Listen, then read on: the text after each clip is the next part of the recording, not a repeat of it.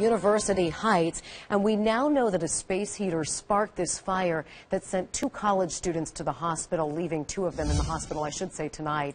News 5's Brian Hamrick live tonight with the very latest on their condition and the investigation. Brian? Well, Cherie, uh, firefighters tell us that those two students remain in critical condition. They were trapped in this house. They were on the top floor, the fire below them. They couldn't get out. And other students tell us that they barely got out too.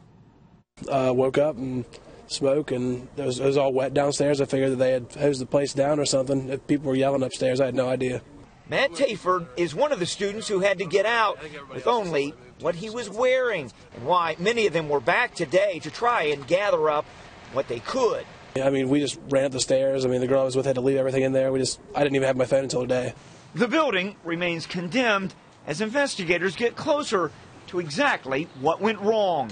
How fast it all happened unfolds during the 911 call, which starts out with a calm and collected caller. There is a fire here right now. Where is We're, uh, it? trying to. It's in the uh, middle floor of like a four-story house. We're trying to put it out now, but um, it's pretty.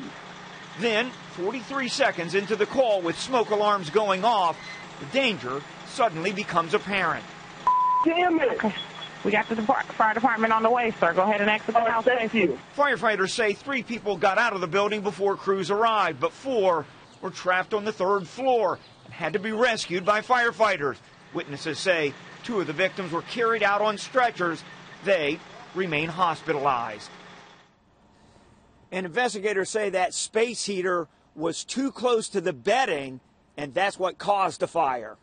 Reporting live, Brian Hamrick, News 5.